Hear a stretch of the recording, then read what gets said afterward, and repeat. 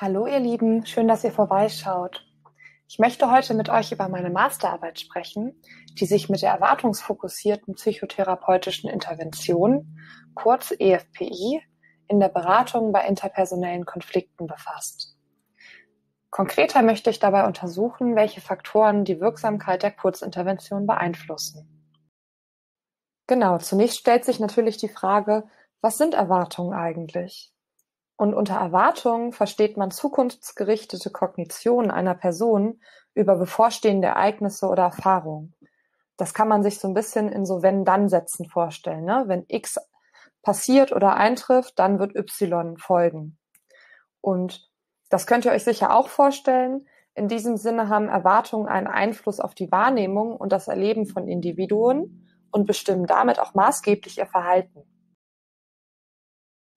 Erwartungen wurden in den letzten Jahren intensiv im psychologischen und psychotherapeutischen Kontext beforscht.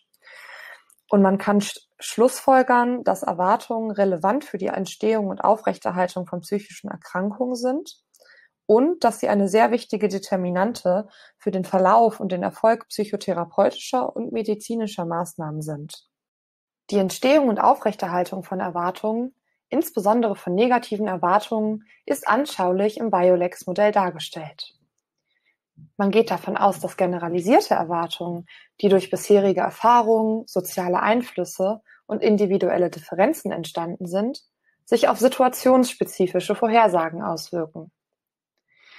Und auf diese situationsspezifische Erwartung, auf diesen Gedanken, wenn X, dann Y, erfolgt eine antizipatorische Reaktion. Besonders dann, wenn man eine negative Folge erwartet. Wie können Erwartungen jetzt verändert werden? Im Sinne inhibitorischen Lernens ist das ganz eindeutig. Wir müssen eine korrigierende Erfahrung erleben und in deren Folge passen wir zunehmend unsere bisherigen Erwartungen an. In der psychotherapeutischen Praxis jedoch bleiben insbesondere negative Erwartungen häufig bestehen und das trotz vermeintlich erfolgreicher Exposition. Als Ursache dafür können Coping-Prozesse wie Akkommodation, Assimilation oder Immunisierung angesehen werden.